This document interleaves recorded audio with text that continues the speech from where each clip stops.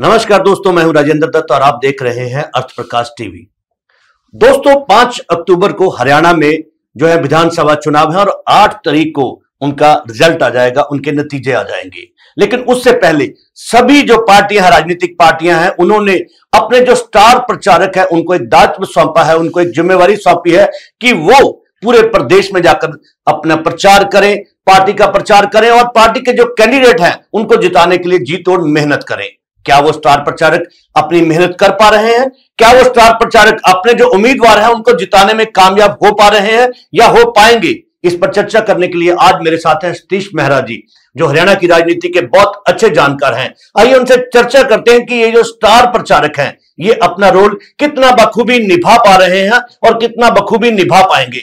मेरा साहब सबसे पहले तो मेरा साहब सबसे पहले तो आपका स्वागत है हमारे स्टूडियो में। थैंक यू मेरा साहब जो सभी राजनीतिक पार्टियाँ हैं, चाहे वो आम आदमी पार्टी है, चाहे कांग्रेस पार्टी है या भारतीय जनता पार्टी है, सभी पार्टियों ने अपने कुछ स्टार प्रचारक जो है, वो उनकी ड्यूटी लगाई है, उनकी उनको जिम्मेवारी सौंपी है कि वो अपने उम्मीदवारों के लिए प्रचार करें हरियाणा में। उसमें से कुछ हाईकमान से होते हैं, ऊपर से होते हैं, केंद्र से होते हैं और कुछ लोग स्टेट से होते हैं, राज्य से होते हैं और वो जाकर प्रचार करते हैं। क्या आपको लगता है कि ये जो स्टार प्रचारक है, ये अपना रोल जो पूरी तरह से वो अदा कर पा रहे हैं क्या वे प्रॉपरली प्रचार कर पा रहे हैं? अगर नहीं कर पा रहे हैं तो उसके पीछे के क्या कारण है? देखिए जैसा आपने बताया आपने कहा कि स्टार प्रचारक जो विभिन्न पार्टियाँ अपने अपने स्टार प्रचारकों की सूची जारी करती हैं जी। और उनमें कुछ जो हाईकमान के उनके अलग अलग पार्टियों के हाईकमान के लीडर होते हैं नेता होते हैं और कुछ स्टेट के नेता होते हैं और उनमें जो जो स्टार प्रचारकों की सूची तैयार की जाती है उसमें जो पार्टियाँ हैं एक जातीय समीकरण साध कर स्टार प्रचारकों की सूची तैयार करती है। जी। और किस किस जाति के नेता को वहाँ हरियाणा में भेजना है किस किस जाति के नेता को दूसरे स्टेट में भेजना जहाँ इलेक्शन होते हैं। तो अलग अलग से वो ही वही जो जातीय आधार पर जो लीडरों का जो चयन किया जाता है वही अपने अपने जहाँ पे जहाँ पे ज़्यादा जातीय उनके वोट हैं वहाँ पे उनको मोबिलाइज करने के लिए उनको अपनी बात बताने के लिए जाते हैं ताकि उनकी जाति का जो है ना प्रभाव उन पे पड़े और उनकी पार्टी के पक्ष में ज़्यादा ज़्यादा ज़्यादा वोट वो कलेक्ट कर कर पाए। जी। तो इस तरह से अभी जो कांग्रेस पार्टी है उन्होंने 40 से जो स्टार प्रचारकों की सूची जारी की थी इसी प्रकार से भारतीय जनता पार्टी ने भी 40 स्टार प्रचारकों की सूची जारी की थी। कांग्रेस पार्टी के अगर हम बात करें तो मल्लिकार्जुन खड़के उनके प्रेसिडेंट हैं, कांग्रेस पार्टी के, राहुल गांधी हैं, प्रियंका हैं, और दूसरे जो बड़े, उनके हाईकमान के बड़े लीडर हैं, उनको और कुछ स्टेट के लीडर, और कुछ जो जो उनके वक्ता होते हैं, अच्छे ऑरेटर होते हैं, उनकी लिस्ट उन्होंने जारी की थी। इसमें हरियाणा के भी काफ़ी सारे नेता उन्होंने इंक्लूड किए, चौधरी बीरेंद्र सिंह है भूपेंद्र हुड्डा हैं, रणदीप सुरजेवाला हैं ये ये सारे हरियाणा से भी उन्होंने इंक्लूड सूची में किए थे। जी। और इसी प्रकार से अगर भारतीय जनता पार्टी की बात करें तो भारतीय जनता पार्टी के जो मुख्य स्टार प्रचारक हैं वो प्रधानमंत्री नरेंद्र मोदी जी उनका टॉप में नाम था।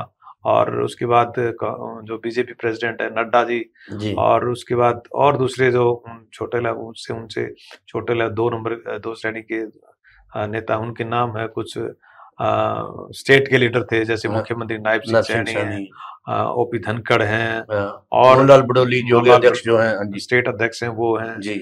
तो ये सारे स्टेट अध्यक्ष तो सभी के होते ही हैं चाहे कांग्रेस पार्टी हाँ, की बात करें तो मोहनलाल बडोली की बात करें तो इसलिए सारी पार्टियाँ जो स्टार प्रचारकों की सूची जारी करती है और उनकी अलग अलग जिम्मेवारी लगाई जाती है कि आप इन इन क्षेत्रों में जाएँगे। उनका एक स्पेशल कार्यक्रम जो स्टेट इकाई है उनसे और जो कैंडिडेट है उनसे सलाह मशवरा करके उनका एक टूर तय किया जाता है ताकि वो अपने अपने क्षेत्र में अपने अपने लोगों के अपने पार्टी के लोगों के लिए वोट मांग सके। जी।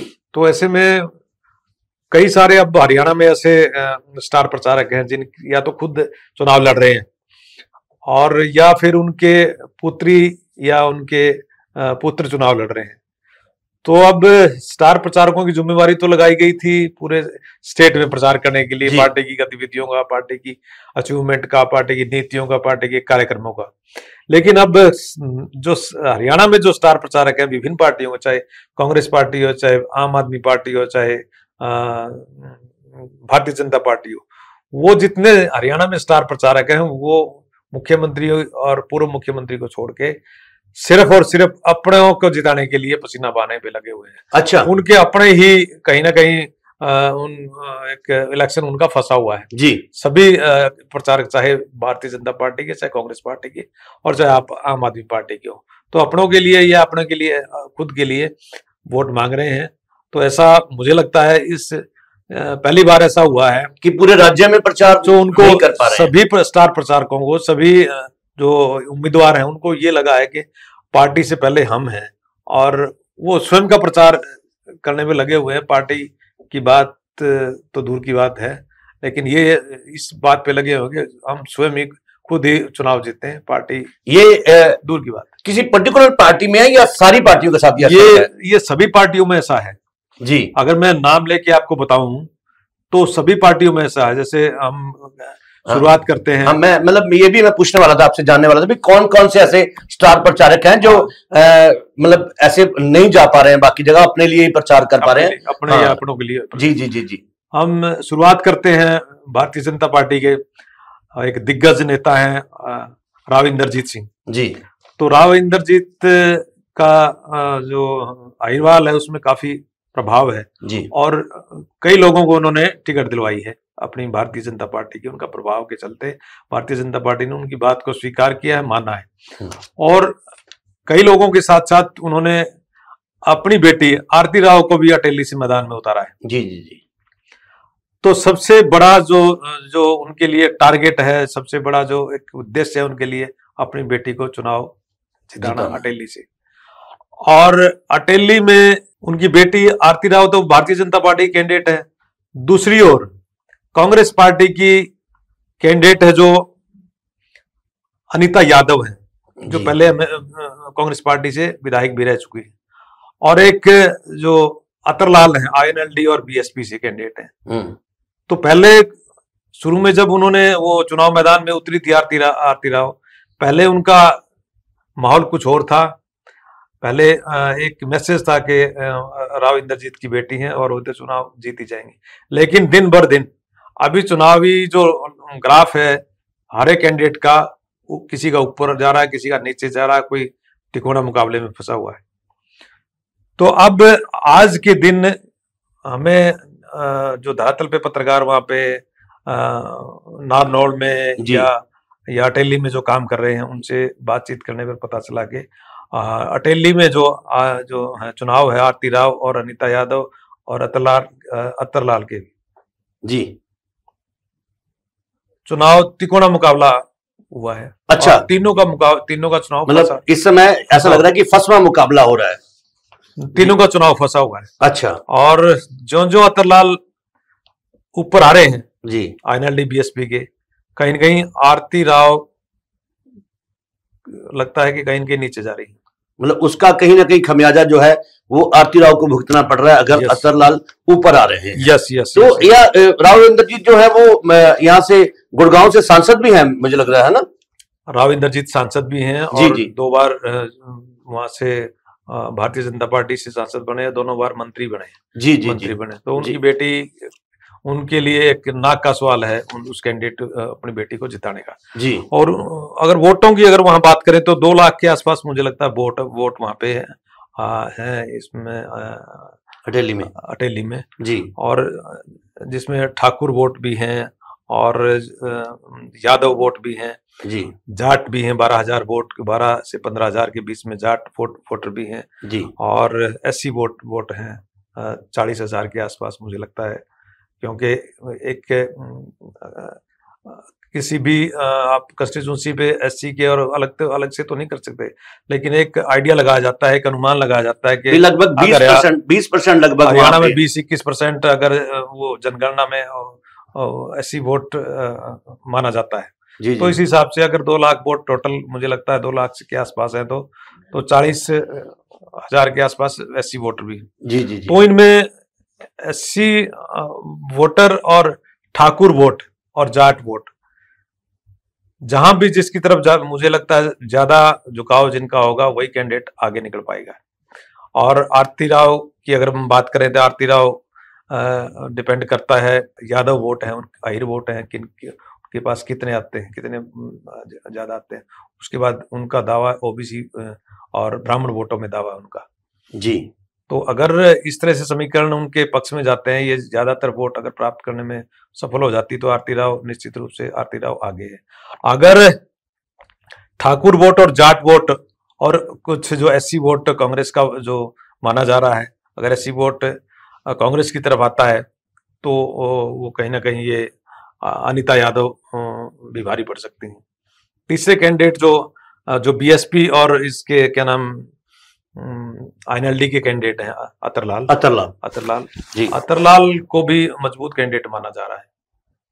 आज की जो स्थिति है अतरलाल ठाकुर समुदाय से आते हैं ठाकुरों की चालीस हज़ार वोट है। अगर मैक्सिमम ठाकुर वोट उनके पास जाते हैं और तो तीनों पार्टियों के कैंडिडेट आईएनएलडी का कैंडिडेट आईएनएलडी और बीएसपी का कैंडिडेट होने के कारण एससी वोटों पे भी उनका कुछ न कुछ आशा बनाए हुए हैं। अगर इस तरह से उनके पास जो ये जो जातीय समीकरण उनके पक्ष में जाते हैं तो कहीं ना कहीं वो भी आ, मुकाबले में मुकाबले तो इस तरह कह सकते हैं कि तीनों तीनों जो उम्मीदवार हैं मुकाबले में और इसके लिए जो अपनी बेटी को जिताने के लिए राविंदर जीत को लगातार पसीना बहाना पड़ रहा है। हालाँकि जब पहले बताते हैं कि राविंदर जीत इतना गाँव गाँव में और घर घर नहीं जाते लेकिन आज उनको गाँव गाँव में और घर घर जाना पड़ रहा है। तो ये तो अभी तीन चार दिन अभी कैंपेन में बचे हैं। पाँच तारीख का जो इलेक्शन है ये तो आने वाले चार पाँच दिन में ही क्लियर हो क्लियर हो पाएँगे भी क्या होता है ना। दूसरी ओर हम बात करते हैं उचाणा विधानसभा क्षेत्र की। जी। उचाणा विधानसभा क्षेत्र में जो कांग्रेस के उम्मीदवार हैं चौधरी बीरेंद्र सिंह के बेटे हैं ब्रजेंद्र सिंह। जी। पूर्व आईएएस अधिकारी हैं और वो भारतीय जनता पार्टी में अभी एमपी रहे हैं। उन्होंने अभी छह महीने पहले भारतीय जनता पार्टी से एमपी रहते हुए रिजाइन किया है। जी जी और कांग्रेस कांग्रेस में आए हैं। जी। कांग्रेस ने उनको उम्मीदवार बनाया है। जी। और उचाना में जो कांग्रेस पार्टी के अलावा जो भारतीय जनता पार्टी के उम्मीदवार हैं वो देवेंद्र अत्री हैं हम्म। ब्राह्मण समुदाय से हैं।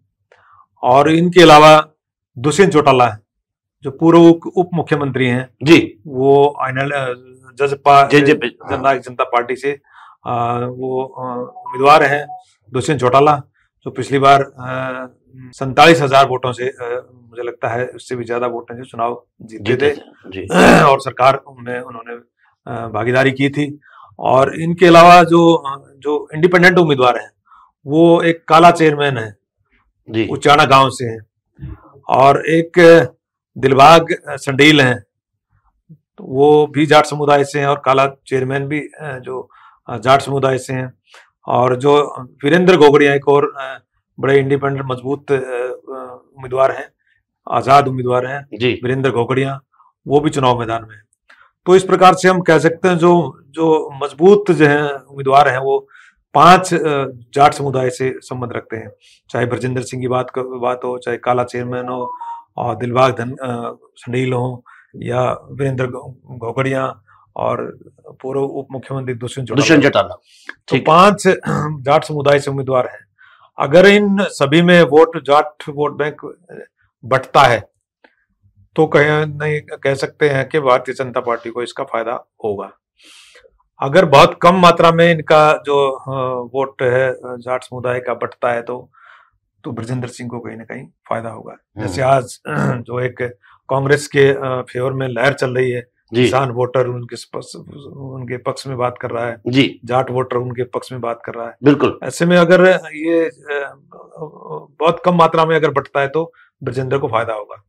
और अगर चारों जो कैंडिडेट ये जो इंडिपेंडेंट है और फाइनली सॉरी जननायक जनता पार्टी के जो कैंडिडेट हैं दुष्यंत चौटाला जी जी। वो अच्छी मात्रा में अगर वोट ले पाते हैं तो देवेंद्र अत्री को भारतीय जनता पार्टी का फ़ायदा होगा को के उम्मीदवार को फ़ायदा होगा। तो इस तरह से ये डिपेंड कर चुनाव डिपेंड करता है जाट वोटर किस मात्रा में बटेंगे और किस मात्रा में इकट्ठे किस कहीं ना कहीं इस सीट पर भी मुझे टक्कर नज़र आ रही है। जब ये टक्कर स्वाभाविक है जी। जाट वोटों में डिपेंड करता है उधर जो जो एक जो vote bank Bharatiya Janata party मान रही है ओबीसी को ब्राह्मण को और दूसरे समुदाय के लोगों को तो वो अगर इनकी तरफ़ झुकाव रहता है देवेंद्र अत्री की तरफ़ झुकाव रहता है तो जाट वोट बटने के कारण देवेंद्र अत्री को फ़ायदा होगा अदरवाइज़ ब्रजेंद्र सिंह को कम वोट बढ़ते हैं तो उनको फ़ायदा मिल सकता जी। है। लेकिन ये अच्छे जो चारों कैंडिडेट की जब इंडिपेंडेंट और जजपा की, की हमने बात की अच्छे कैंडिडेट हैं अच्छा जो चुनाव लड़ेंगे और जाट जो समुदाय से अच्छे वोट गेन कर सकते हैं। ऐसे में एक कई तरह का कई चौकन्ना बल्कि पाँच कोणीय मुकाबला कह सकते हैं उचाना में बना हुआ है।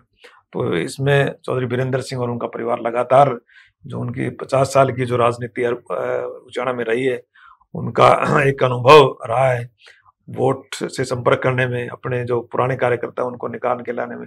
अगर उसमें सफल रहते हैं तो निश्चित रूप से उनको फ़ायदा उनके बेटा बिल्कुल चुनाव निकाल सकता है। अगर लोगों की नाराज़गी अगर उन्होंने नाराज़गी चुनाव मैदान उसमें मतदान में दिखाई तो मुझे लगता है उनको बहुत कम फ़ायदा होगा। जी। आप करते हैं कैथल की बात करते हैं। कैथल में रणदीप सुरजेवाला जी जी। जो पार्टी के बड़े नेता हैं जो राज्यसभा के मेंबर भी हैं। जी और बहुत अच्छे वक्ता भी हैं। और ऑरेटर भी अच्छे हैं पार्टी के। जी। और वहाँ कम्युनिकेशन का काम भी उन्होंने देखा है उनके नेशनल लेवल पे जी। पार्टी का।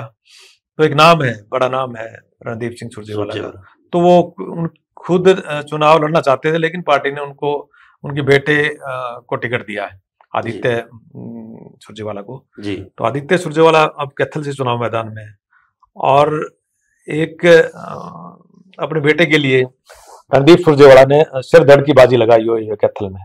कैथल से वो दो बार चुनाव हार चुके हैं लीला राम गुज्जर के मुकाबले भारतीय जनता पार्टी के मुकाबले। लेकिन अब वो जो पहले दो बार विधायक वहाँ से रहे मिनिस्टर रहे हैं पावरफुल मिनिस्टर हैं उन्होंने कैथल में काम भी करवाया। अपने काम की बदौलत कैथल में कैथल के लोगों से अभी जुड़े निरंतर जुड़े हुए और वो हाँ, वोट मांग रहे काम की बदौलत और काम उनके काम को स्वीकार भी करते हैं लोग। हालाँकि कैथल के लोग स्वीकार करते हैं कि जो एक कैथल शहर का नव निर्माण किया उसमें रणदीप सुरजेवाला का बहुत महत्वपूर्ण योगदान रहा है। जी। तो अभी फिर भी वो दो बार जब हारे हैं तो अभी चुनौती मान रहे हैं कि अभी कहीं अब तीसरी बार ऐसा ना हो जाए। और लीलाराम गुज्जर भी अपने जो पार्टी के जो कार्यक्रम है उनको लोगों के बीच में लेके जा रहे हैं जो Bharatiya Janata party ji but obvious बात है। हाँ। वो तो पूरा तो पार्टी के जो कार्यक्रम है पार्टी की जो नीतियाँ हैं उनकी सरकार की जो गतिविधियाँ अचीवमेंट रही है उनको उनको चुनाव में लोगों के पास लेकर जा रहे हैं। बिल्कुल बिल्कुल। अपनी साख को बचाने के लिए पिछले दस साल का जो इतिहास है उसको दोहराने के लिए स्वाभाविक कोशिश करेंगे। तो एक दूसरे की एक दूसरे को दोनों चुनौती दे रहे हैं तो सुरजेवाला जो रणदीप सुरजेवाला एक स्टार प्रचारक है और कांग्रेस पार्टी के बड़े दिग्गज नेता भी हैं तो कहीं ना कहीं वो भी अपनी उस कॉन्स्टिट्यूंसी से जहाँ उनका बेटा चुनाव लड़ रहा है कैथल से बाहर नहीं निकल पा रहे हालाँकि वो बेसिकली जो नरवाना से संबंध रखता है रखते हैं रणदीप सुरजेवाला। नरवाना में वो चुनाव प्रचार के लिए एक आध बार गए हैं। उन्होंने नरवाना का जो कांग्रेस कैंडिडेट है उनको टिकट दिलवाया है। जी। सतबीर दबलैन है मुझे लगता है। दबलैन हाँ, जी। हाँ तो उनको टिकट दिलवाया उनके चुनाव प्रचार के लिए भी जा, जा रहे हैं वो। और लगातार उन्होंने बहन कुमारी सैलजा को भी उन्होंने बुलाया बुलाया है। हम्म। तो बस वहाँ से नरवाना को छोड़ के मुझे लगता है कैथल में ही डटे हुए हो। और कैथल में ही उलझे हुए हैं। जी। तो आने वाले टाइम बताएगा ये कौन भारी पड़ेगा कौन जीतेगा। जी जी बिल्कुल बिल्कुल। तो अभी करते हैं जयप्रकाश हैं जय जयप्रकाश जेपी हैं जो सांसद हैं हिसार से। जी जी। उनका बेटा कलायत से चुनाव लड़ रहे हैं विकास सहारण। हम्म। तो कलायत कांग्रेस पार्टी ने उनको टिकट दिया है। और कलायत में बड़ा रोचक मुकाबला देखने को मिल रहा है आपकी बार। जी। कलायत में विकास सारण है कांग्रेस पार्टी से। और भारतीय जनता पार्टी से हैं कमलेश ढांडा जो निवर्तमान विधायक भी है मंत्री भी रही है। जी। हालाँकि राज्यसभा क्या नाम विधानसभा अभी वो भंग हो चुकी भंग हो चुकी भंग हो चुकी है। जी। तो इस जो जो ये प्लान थी उसमें विधायक रही हैं वो। जी। कमलेश ठांडा है भारतीय जनता पार्टी से। और एक अनुराग ढांडा आप पार्टी से चुनाव लड़ रहे हैं। अनुराग ढांडा हालाँकि वो भी स्टार प्रचारक हैं। जी। आप पार्टी के वो स्वयं चुनाव लड़ रहे हैं वो। जी। और अनिता ढुल है एक जो इंडिपेंडेंट चुनाव लड़ रही है। जी। अनिता ढुल कांग्रेस पार्टी की दावेदार रही है टिकट अच्छा। की दावे उन्होंने कांग्रेस पार्टी ने उनको टिकट न देकर विकास सारण को टिकट दिया है। तो अनिता ढुल और एक जो मेन एक और कैंडिडेट है आईएनएलडी से रामपाल माजरा है। बीएसपी हम्म। और आईएनएलडी से रामपाल माजरा। तो वो भी चुनाव मैदान में है। अभी सारे के सारे ये जितने के हैं वहाँ पे चुनाव लड़ रहे हैं। सतविंदर राणा है चुनाव लड़ रहे हैं वहाँ पे इंडिपेंडेंट जो कांग्रेस पार्टी के पूर्व में विधायक भी रहे हैं। जी। तो सतविंदर राणा और एक और विधायक चुनाव लड़ रहे हैं एक उम्मीदवार है वहाँ पे प्रीतम सिंह डॉक्टर प्रीतम सिंह। जी। वो जेजेपी से चुनाव लड़ रहे हैं। जेजेपी और आज़ाद समाज पार्टी से। जी। तो ये सारे कैंडिडेट दो कैंडिडेट को छोड़कर प्रीतम मेहरा को छोड़ के और जो सतविंदर राणा उनको छोड़ के बाकी सारे कैंडिडेट है ना जाट समुदाय से आते हैं। जी। तो ये जो जाट समुदाय से आने के कारण कांग्रेस और जो भारतीय जनता पार्टी के कैंडिडेट हैं ये सारे के सारे जाट समुदाय से आने वाले जो उम्मीदवार हैं ये इनके लिए दोनों मुख्य पार्टियों के लिए सिरदर्द बने हुए हैं। आपस में एक दूसरे की टक्कर है। और जाट वोट ज़्यादा जाट वोट का ज़्यादा बिखराव होने की संभावना है यहाँ भी जाट वोट जो है वो बिखराव में हो सकता है और उसका कहीं ना कहीं। नुकसान जो है वो फिर से बिखराव हो सकता है वो हाँ। किसको फ़ायदा होगा ये हाँ। बात देखने वाली है अगर जाट। वोट का बिखराव न होकर विकास सहारण की तरफ़ आता है तो उनको फ़ायदा होगा अगर जाट वोट का रामपाल माजरा ज़्यादा ले जाते हैं तो रामपाल माजरा को फ़ायदा हो सकता है अनिता ढुल अच्छी कैंडिडेट है वहाँ पे इंडिपेंडेंट है। इंडिपेंडेंट है। जी। वो अगर ज़्यादा ले जाती हैं तो उनको फ़ायदा हो सकता है। लेकिन सभी जाट कम्युनिटी के जितने भी उम्मीदवार हैं अगर उनमें अगर वोट अच्छा बंट जाता है तो कमलेश डांडा को भी भारतीय जनता पार्टी के उम्मीदवार हैं उनको फ़ायदा हो सकता है। जी। फ़ायदा हो सकता है उनको। अभी कोई स्थिति वहाँ की क्लियर नहीं है। चारों चार कोणीय मुकाबला है और चार कोणीय मुकाबला में कुछ भी कोई भी ये सीट जीत सकता है। स्थिति और जहाँ तक स्टार प्रचारक की बात करें जयप्रकाश जेपी की हाँ मैं वही कहने वाला था। जयप्रकाश जेपी अपने किलायत हल्के को छोड़ नहीं पा रहे। छोड़ नहीं पा रहे हैं। मैं यही बोलने वाला था कि हालाँकि मुझसे पूरे जो जो कांग्रेस पार्टी ने उनको एक पूरे जो हिसार संसदीय क्षेत्र है उसमें चुनाव प्रचार के लिए उनका नाम दिया था पर वो बाहर न जाकर सिर्फ़ कलायत में उलझे हुए हैं। हाँ कहीं ना कहीं पुत्र में वो भी हार जीत का किसी का हम कह नहीं सकते लेकिन स्थिति अभी ये बनी हुई हाँ। तो अब हम बात करते हैं आदमपुर की। जी। आदमपुर से कुलदीप बिश्नोई जो पार्टी के भारतीय जनता पार्टी के बड़े लीडर हैं बड़े हाँ स्टार हैं प्रचारक है। और कांग्रेस पार्टी में रहे हैं उन्होंने अपनी पार्टी भी चलाई है। भजनलाल के पुत्र हैं वो। हाँ, चौधरी भजनलाल के पुत्र है बड़ा नाम है। जी बिल्कुल ठीक। तो उनके बेटे भव्य बिश्नोई आदमपुर से जो भारतीय जनता पार्टी के उम्मीदवार हैं। दूसरी ओर जो कांग्रेस पार्टी ने चंद्र प्रकाश को मैदान में उतारा है जो चौधरी भजनलाल के बहुत ही करीबी मित्र हाँ, रामजी लाल के पुत्र रामजी लाल के जो भतीजे हैं जो भतीजे हैं, उनके- भतीजे हैं। जी जी। और चंद्र प्रकाश पूर्व आईएएस अधिकारी भी हैं वो। आईएएस भी रहे हैं। तो उन्होंने एक जातीय समीकरण साध कर कांग्रेस पार्टी ने वहाँ पे चुनाव मैदान में उतारा है। जी। तो जातीय एक इसके अलावा आप पार्टी ने भूपेंद्र बे, भूपेंद्र बेनीवाल हैं। आप पार्टी भूपेंद्र बेनीवाल। उम्मीदवार हैं वो आप पार्टी के उम्मीदवार हैं। हम्म, आईएनएलडी और जो बहुजन समाज पार्टी है उन्होंने रणदीप लोचब को चुनाव मैदान में उतारा है। जी। जो जो हरि सिंह जी के बेटे हैं हरि सिंह जी चौधरी बं, बंसीलाल के पॉलिटिकल सेक्रेटरी भी रहे हैं और चौधरी देवीलाल के पॉलिटिकल सेक्रेटरी भी रहे हैं। तो उन्होंने उनके बेटे को चुनाव मैदान में रणदीप जो लोचब उनको उतारा है। दूसरे जेजेपी के कैंडिडेट हैं रण- कृष्ण गंगुआ। तो सिर्फ़ कांग्रेस पार्टी के और जो भारतीय जनता पार्टी के दोनों उम्मीदवारों को छोड़कर बाकी सारे के सारे उम्मीदवार, मुझे लगता है जाट समुदाय से आते हैं। तो तीनों उम्मीदवार जाट समुदाय से हैं। उधर बिश्नोई समाज से हैं जो भव्य बिश्नोई है, उनका एक, जो परंपरागत वोट रहा है चौधरी भसनलाल का। हम्म, बिश्नोई वोट हैं और ऐसी बीसी भी उनके साथ जाता था वोट पहले जब से वो छप्पन साल से वो उस एक ही सीट पे चौधरी भजनलाल परिवार जीतता आया है। जी। तो उनके उनका कहीं न कहीं वोट बैंक माना जाता है। तो अब की बार कांग्रेस पार्टी ने खेल खेला है जो उसमें उसके उनके मुकाबले चंद्र प्रकाश को मैदान में उतार कर। चंद्र प्रकाश बैकवर्ड समुदाय से आते हैं। जी। अगर बैकवर्ड समुदाय और जो जाट वोटों पे जो एक, एक दावा कर रही है कांग्रेस पार्टी जाट समुदाय के पचपन हज़ार वोट वहाँ पे। हम्म, अगर मैक्सिमम वोट जाट समुदाय का चंद्र प्रकाश को आता है पार्टी ट्रेंड के अनुसार तो चंद्र प्रकाश हम्म, भारी कैंडिडेट हो सकते हैं। अगर परंपरागत सारा का सारा वोट जो चौधरी भजनलाल का वोट है भव्य बिश्नोई की तरफ़ जाता है तो निश्चित रूप से भव्य बिश्नोई भारी होंगे भारी होंगे। और जाट वोट अगर बढ़ता है ज़्यादा मैक्सिमम मात्रा में आईएनएलडी और जेजेपी और भूपेंद्र बेनीवाल जैसे आप पार्टी के बढ़ता है तो कहीं ना कहीं इनको जो चंद्र प्रकाश है उनको उनको नुकसान होगा। ऐसे में मुझे लगता है भव्य बिश्नोई को ज़्यादा फ़ायदा होगा। अभी दोनों में कांटे की टक्कर है दोनों का ज़बरदस्त मुकाबला बना हुआ है। तो इसका मतलब ये हो कि कुलदीप बिश्नोई भी जो है वो अपने जो इतिहास है उनके परिवार का उसको कायम रखने के लिए पूरी तरह से आदमपुर में डटे हुए और वो स्टार प्रचारक केवल बावजूद वो उस प्रदेश में कहीं भी प्रचार नहीं कहीं भी प्रचार करने के लिए मुझे लगता है नहीं निकल पाए हैं वो। आदमपुर उनके लिए फंसी हुई है। जी। रेणुका बिश्नोई उनकी धर्मपत्नी है वो भी आदमपुर में लगी हुई है। पूरा परिवार उनका पति पत्नी और उनके बेटे और अपनी अपनी टीमों के साथ वो लगे हुए हैं। लेकिन देखने वाली बात है ये है कि चुनाव निकाल पाते हैं नहीं निकाल पाते हैं। तो इसके बाद बात करते हैं हम कैप्टन अजय यादव हैं। जी।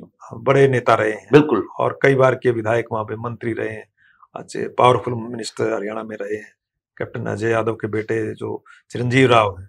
हाँ जी। और लालू प्रसाद जो एक आरएलडी के राष्ट्रीय लोकदल के लीडर हैं लालू प्रसाद का एक नाम उनके उनके दामाद भी है ये चिरंजीव राव। वो कांग्रेस पार्टी ने उनको रेवाड़ी से टिकट दिया है। और दूसरी बार वो चुनाव लड़ रहे हैं। एक बार एमएलए पहले रह चुके हैं वो और युवा कांग्रेस पार्टी के युवा इकाई के प्रेसिडेंट भी रहे जी जी। कैप्टन अजय के सामने लक्ष्मण यादव को उतारा है भारतीय जनता पार्टी लक्ष्मण यादव जो निवर्तमान विधायक भी कह सकते हैं उनको और पहले कोसली से विधायक रहे अब की बार उनको शिफ्ट किया गया रेवाड़ी में। तो उसके अलावा रेवाड़ी में चुनाव लड़ रहे हैं। विजय सोमानी बीएसपी से है, वो चुनाव लड़ रहे हैं। आज़ाद समाज पार्टी से मौली देवी हैं, वो चुनाव लड़ रही हैं। तो इनमें भी भारतीय जनता पार्टी में और इनमें क्या नाम कांग्रेस के कैंडिडेट में ज़बरदस्त मुकाबला बना हुआ है। हालाँकि वो बाप बेटा दोनों विधायक रहे हैं, उनके अच्छे संपर्क भी वहाँ पे और अच्छा एक वोट बैंक भी है। तो अब बात करते हैं हम तोशाम हल्के की। जी। तोशाम हल्के से जो किरण चौधरी हाँ। किरण चौधरी हैं भारतीय जनता पार्टी की एक बड़ी नेता है अभी अभी भारतीय जनता पार्टी में आई है और कांग्रेस पार्टी की भी बड़ी दशकों तक बड़ी लीडर जी, जी, जी। बड़ी नेता रही जी। और चौधरी बंसीलाल जी की। चौधरी बंसीलाल की पुत्र वधु हैं जी। सुरेंद्र सिंह की वाइफ हैं और सुरेंद्र सिंह का चौधरी बंसीलाल का एक तो एक नाम रहा है। चौधरी बंसीलाल की राजनीति तो हम सभी पूरे हरियाणा वासी जानते हैं। जी। तो वो आ, उनकी बेटी श्रुति चौधरी जो सांसद रही हो पहली बार विधानसभा का चुनाव लड़ रही है तो शाम से। तो शाम से पहले किरण चौधरी लड़ती रही हैं लेकिन अब की बार उन्होंने श्रुति। श्रुति चौधरी को अपनी बेटी को चुनाव मैदान में उतारा है। और दूसरी ओर एक इंटरेस्टिंग विषय ये है कि वहाँ पे अनिरुद्ध जो रणवीर महिंद्रा के जो चौधरी बंसीलाल के पौत्र हैं कहीं ना कहीं परिवार में फाइट है यहाँ परिवार में जो रणवीर मेहता के बेटे हैं हम्म। और चौधरी बंसीलाल के जो पौत्र हैं वो चुनाव लड़े दोनों एक पौत्री है एक पौत्र है। दोनों चाचा ताऊ के भाई हैं बेटे हैं और वो चुनाव मैदान में है और दोनों की मज़बूत एक स्थिति कह सकते हैं। मज़बूत स्थिति है टक्कर है दोनों की। जी, जी। बड़ा दोनों को संघर्ष करना पड़ रहा है वहाँ पे और एक दूसरे की जो चौधरी बंसीलाल की लेगेसी को कायम रखने की बात वो कर रहे हैं। कहते हैं चौधरी बंसीलाल की वारिस हम है चौधरी बंसीलाल की वारिस। वो कहते किरण चौधरी कहते हैं चौधरी बंसीलाल की वारिस। श्रुति चौधरी है। अनिरुद्ध कहता है कि चौधरी बंसीलाल की वारिस मैं हूँ। तो इस तरह की वारिस के उसमें है ना दोनों का चुनाव चुनाव बड़े संघर्ष का चुनाव हो रखा है। और इसलिए जो सिर्फ़ और सिर्फ़ जो किरण चौधरी के सामने एक ही टारगेट है अपनी बेटी को चुनाव जितवाना। और चुनाव जितवाने से वो कहीं ना कहीं एक एक अपने आप को ऑथराइज भी कर पाएँगे के चौधरी बंसीलाल की वारिस वही है। जी जी जी। लेगेसी बट इस वजह से कहीं ना कहीं तो शाम छोड़कर ये स्टार प्रचारक भी कहीं ना कहीं तो शाम तक ही नहीं नहीं निकल पा रही नहीं निकल पा रही नहीं निकल पा रही। तो अब बात करते हैं जुलाना हल्के की। जुलाना हल्के में जो स्टार प्रचारक हैं कांग्रेस की विनेश फोगाट। जी। जो एक ओलंपियन है। जी। और ओलंपिक में उनका जो मेडल था वो बड़ी चर्चा में रही बड़ी चर्चा में रही आते आते रह गया वो। किन्हीं कारणों से डिस्कालीफाई उनको कर दिया गया था। और हालाँकि उनका मेडल नहीं जीत पाई लेकिन लोकप्रियता का ग्राफ उनकी चरम सीमा पे पहुँच गया। तो उनको सहानुभूति हर तरह से मिली और इसीलिए उस सहानुभूति को भुनाने के के लिए कांग्रेस पार्टी ने उनको टिकट दिया। कांग्रेस पार्टी ने जुलाना से उम्मीदवार जुलाना हल्के में उनकी शादी हुई है उनके ससुराल है। जी। तो ऐसे में जुलाना हल्के में टिकट देना उनको कहीं ना कहीं कांग्रेस पार्टी को लगा कि ये जिताऊ कैंडिडेट है और निश्चित रूप से जीतेगी। और युवाओं के एक आदर्श मानते हुए उनको स्टार प्रचारक की सूची में भी उनका नाम डाला है। जी। लेकिन अब जो हालात अभी जो माहौल हालात जुलाना में कह सकते हैं तो एक कविता दलाल है। आप पार्टी से मुझे लगता है आप पार्टी से हैं। शायद हम गलत ना हो तो आप पार्टी से कविता दलाल हूँ। वो भी डब्ल्यू डब्ल्यू e की रेसलर रही है वो भी जी। हैं। और तो जुलाना में भारतीय जनता पार्टी के जो कैंडिडेट हैं वो है योगेश बैरागी। जी। तो योगेश बैरागी पे दाव खेला है भारतीय जनता पार्टी ने जो जो ओबीसी समुदाय से आते हैं। और जुलाना में उनका शायद गाँव भी नहीं सपीतों में उनका गाँव पड़ता है। और कैप्टन है वो रहे हैं। तो योगेश बैरागी के अलावा बाकी जो जितने कैंडिडेट हैं सारे के सारे जाट समुदाय से आते हैं। जाट समुदाय आज जो जो हालात लग रहे हैं जो कांग्रेस पार्टी का एक दावा हो रहा है कि जाट वोटर किसान वोटर जाट वोटर उसके साथ है ऐसे में योगेश बरागी को अगर छोड़ दें तो बाकी सारे के सारे जाट समुदाय से आते हैं। सुरेंद्र लाठर की बात करा एनएलडी से। जी। और तीनों सुरेंद्र लाठर और विनेश फोगाट और जो कविता दलाल हैं वो मज़बूत स्थिति में मुझे लगता है पहुँच चुके हैं। हम्म। जाट समुदाय का अगर वोट पड़ता है तो भारतीय जनता पार्टी कैंडिडेट को फ़ायदा होगा। और एक लोकप्रियता के और उनके लोकप्रियता के ग्राफ को देखते हुए विनेश वोट फोगाट की तरफ़ जाट समुदाय बढ़ता है तो तो निश्चित रूप से विनेश फोगाट को फ़ायदा होगा। और एक ऐसी समुदाय पे उनका दावा है। बैकवर्ड समुदाय से तो वो भारतीय जनता पार्टी के हैं। वो उन्होंने एक अपेक्षा है उनको कि बैकवर्ड समाज का वोट उनके पास आएगा। ऐसी समाज का भी वोट और भारतीय जो जाट समुदाय का ज़्यादा वोट अगर जिसके पास भी आता है मुझे लगता है ज़्यादा अपेक्षा कांग्रेस उम्मीदवार को है। अगर भारतीय जनता जाट जो समुदाय का वोट है अगर तीनों कैंडिडेट में बढ़ता है तो फिर बीजेपी को फ़ायदा होगा। जी। और नहीं तो फिर अगर कम बढ़ता है बढ़ता है तो तीनों कैंडिडेट में फिर विनेश फोगाट को फ़ायदा होगा। ये जुलाना की स्थिति लेकिन विनेश फोगाट जो स्टार प्रचारक बनी हुई है बनाई है कांग्रेस पार्टी ने वो जुलाना से कब कतई बाहर नहीं निकल पाया हाँ ऑब्वियस सी बात है क्योंकि उनका पहला चुनाव है और कहीं ना कहीं उनके लिए अपनी साख बचाना बहुत ज़रूरी है तो इसलिए वो उनकी कोशिश ये रहेगी जुलाना में लोगों तक पहुँच करें और ज़्यादातर उसी में वो कहीं ना कहीं व्यस्त है और इसलिए स्टार प्रचारक होने के बावजूद वो कहीं भी शुरू में उनका शुरू में एक शुरू में जब आई थी उनका ग्राफ अच्छा था लेकिन बार बार उनको दीपेंद्र हुड्डा को बुलाना पड़ रहा है। दीपेंद्र हुड्डा शायद दो बार वहाँ पे जुलाना में चुनाव प्रचार के लिए आ चुके हैं। हम्म। तो खुद तो स्टार प्रचारक है ही लेकिन दीपेंद्र हुड्डा को भी उन्होंने बुलाना पड़ रहा है। जी। तो मुझे लगता है उसका उनका चुनाव उनके इतना इतना आसान नहीं उनका संघ बिल्कुल बिल्कुल बिल्कुल। साख बचाना बहुत ज़रूरी हो जाता है ऐसे समय पे। हम्म। तो बाकी सारे जितने भी और हैं लोग नायब सैनी जी हैं वो तो उनको तो पूरे हरियाणा में घूमना पड़ रहा है। उनके लिए भी लाडवा में चुनौती बना का एक जी, चुनाव जी. बना हुआ है हम्म। और जैसे भूपेंद्र हुड्डा है वो वो सारे मजबूरी है उनकी पूरे हरियाणा में घूमना लेकिन कहीं ना कहीं वो लोग स्टार प्रचारक हैं तो वो मुख्यमंत्री पद के दावेदार है इसलिए उनको पूरे हरियाणा में पूरे प्रदेश में प्रचार करना पड़ रहा है और वो जा रहे हैं और जिनकी हमने बात की ये वो स्टार प्रचारक हैं जो स्टार प्रचारक होते हुए भी अपने एरिया से अपनी कॉन्स्टिट्यूंसी से उदयवान की अगर हम बात हाँ। करें उदयवान कांग्रेस प्रेसिडेंट हैं। जी। उनकी मजबूरी है कहीं पूरे हरियाणा में। अगर बड़े नेता उनके आते हैं पार्टी के तो उनके साथ होना ज़रूरी है। हाँ बिल्कुल। तो बाकी सारे जितने हमने स्टार प्रचारकों की बात की ज़्यादातर स्टार प्रचारक या तो खुद जीतने के उसमें लगे हुए हैं या अपने अपनी पुत्र और पुत्रियों को जिताने के लिए लगे हुए हैं। बाकी पार्टी की तरफ़ और ज़्यादा पूरे स्टेट की तरफ़ उनका ध्यान कम है। हम्म। अपने ही चुनाव प्रचार में फंसे हुए लगते हैं बहुत तफसील से, बहुत डिटेल से आपने हमारे दर्शकों को ये चीज़ बताई। मुझे एक चीज़ और बता दीजिए हमारे दर्शकों की चीज़ और बता दीजिए कि ये जो स्टार प्रचारक हैं, ये पूरे प्रदेश में नहीं घूम पा रहे हैं। ये अपने अपने एरिया पे फोकस कर रहे हैं, चाहे इनके पुत्र वहाँ पे हैं, चाहे इनकी पुत्रियाँ वहाँ पे हैं, चाहे इनका कोई बहुत करीबी और वहाँ पे है। इसलिए वहाँ पे सिर्फ़ उतने एरिया में अपनी अपनी कॉन्स्टिट्यूंसी में ये लोग फोकस कर रहे हैं। तो ये क्या अपने लोगों को जिता पाएँगे? कहाँ खड़े हैं ये लोग? देखिए, इनकी पूरी पूरी कोशिश है, ये तो पुराने जो स्टार प्रचारक कांग्रेस, या जिन, कांग्रेस ने या भारतीय जनता पार्टी ने, आप पार्टी ने उनको स्टार प्रचारक की सूची में डाला है तो बड़े धुरंधर हैं ये, इन लोगों का कम्युनिकेशन अलग तरह का है और पुराने इनके कॉन्टेक्ट हैं, और परंपरागत वोटों पर ध्यान रखते हैं सभी तरह के समीकरणों को, ये, इनका एक अनुभव है। उस अनुभव को कहीं कहीं अपने जो परिवार के लोग हैं, अपने पुत्र पुत्री हैं, उनके लिए, उनको जिताने के लिए काम में ला रहे हैं। अब देखने वाली बात यह है कि अब जिता पाएँगे या कैसे कर पाएँगे कितना प्रभाव उन पर डाल पाएँगे तो ये तो पाँच तारीख और आठ तारीख को पता चल पाएगा आठ तारीख को जी। ये पता चल पाएगा।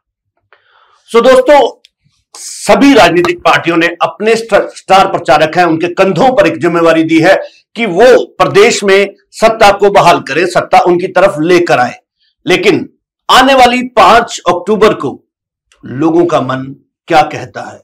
लोग किस तरफ़ जाते हैं, इसकी भी जो स्थिति है, वो आठ अक्टूबर को क्लियर हो जाएगी। तब तक के लिए देखते रहें अर्थ प्रकाश टीवी।